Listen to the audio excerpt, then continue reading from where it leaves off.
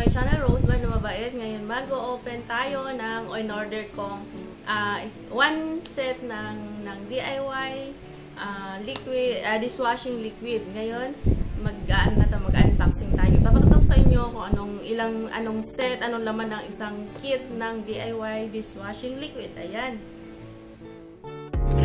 Welcome,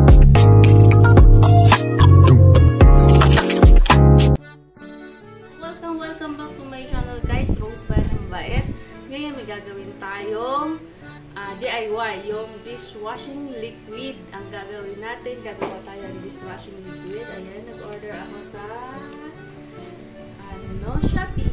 Ayan po, i-open natin yan. Tignan natin ito kung ano itong mga isang kit ito, isang set ng pwedeng gawin nating dishwashing liquid. Ayan, titingnan natin mamaya kung ano ang laman nito at kung anong mga ah, product ay, ay ingredients ng gagawin natin dito. Andito siya lahat. Ayan, andito siya lahat. Mamaya i-video ko anong laman nito para sa gagawin nating dishwashing liquid. Ayan, guys! Ito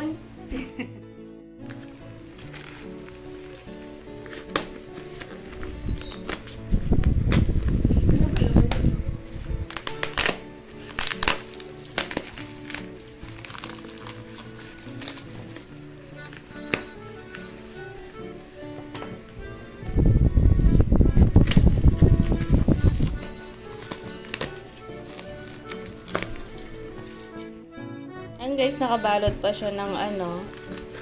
Yan, nakabalot pa siya ng bubble wrap. Tingnan natin kung ano ang laman niya.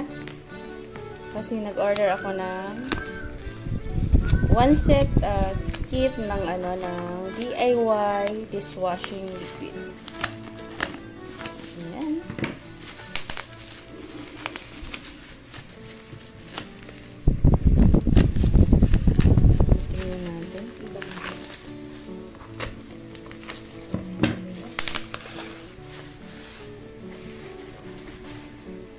Ayan, lemon ang flavor niya.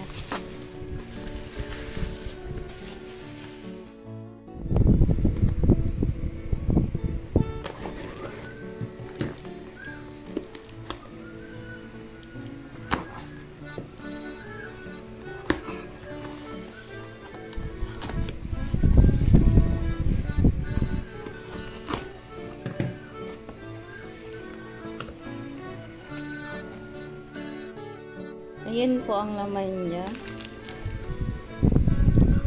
Sorb, ano to? Ano, sorpak, sorpactant, ayan. Ayan. Tapos, ano, thickener, ayan. Thickener powder. Tsaka, ayan, may foam buster. Tapos ito siya. Ayan, tingnan natin kung ano mga laman na to.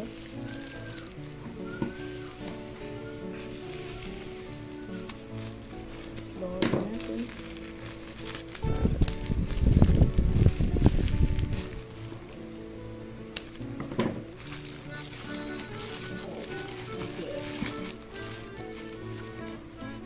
Ayan, ang foam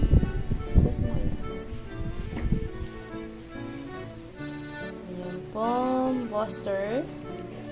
Ayan, tsaka itong Pomer with antibac.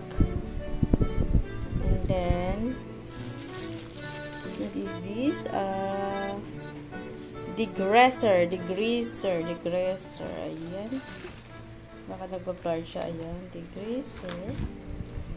Tsaka, ito yung flavor niya, lemon. Ayan, flavor niya, lemon.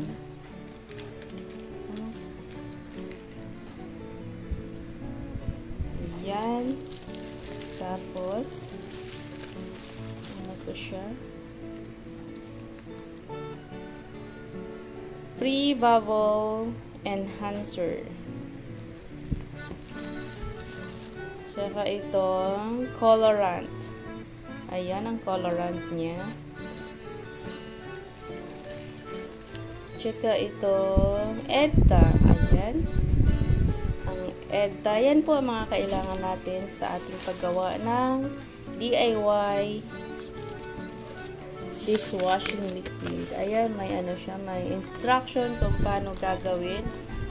Ayan, ang instruction niya kung paano gagawin yung ating DIY dishwashing liquid.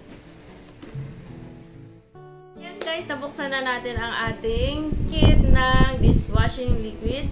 Ngayon, uh, abangan nyo naman ang susunod naming video para sa gagawin naming video kung paano gumawa at gagawin namin ang DIY dishwashing liquid. Thank you guys! Sana panood kayo sa next vlog namin. Bye!